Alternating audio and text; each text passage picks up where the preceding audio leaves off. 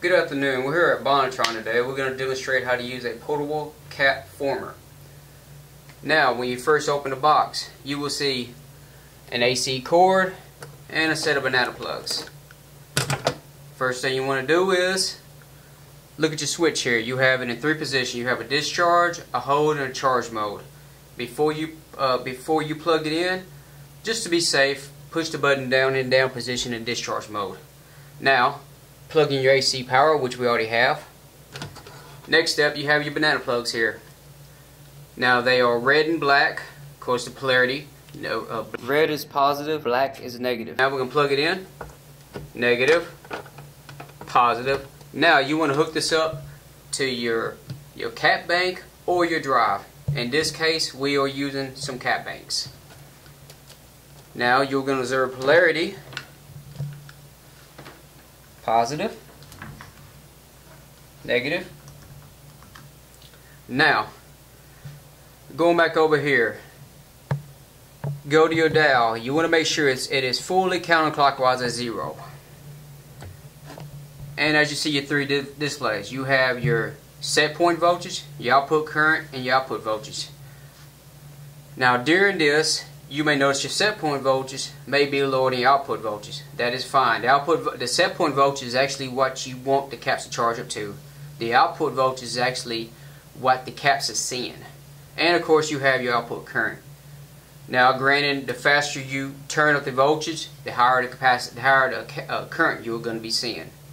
So don't freak out too much about that. If you, if you have a big if you have a big drive, you may see several amps when you're charging this thing up. Now, First thing we're going to do, make sure the dial always is all the way down counterclockwise to zero. We're going to place it in charge. And now, when you hook this up, you need to make sure what voltage class you have, whether it's an L, E, or an H drive. An L, you want to charge this up to 320 volts DC. An E, you want to charge it up to 540 volts DC.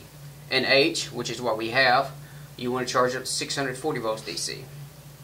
Now, bring them up slightly slowly, but keep an eye on the, uh, the output current. And like I mentioned, the bigger drive you have, you can have more caps. And of course, the current's going to be a little higher. So we're going to slowly raise this up to 640 volts.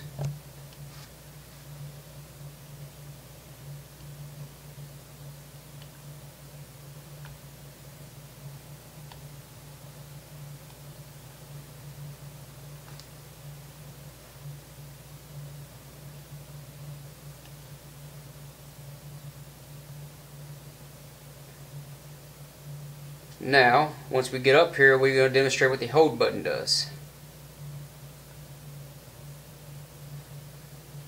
Alright, we are at 640 volts, or approximately.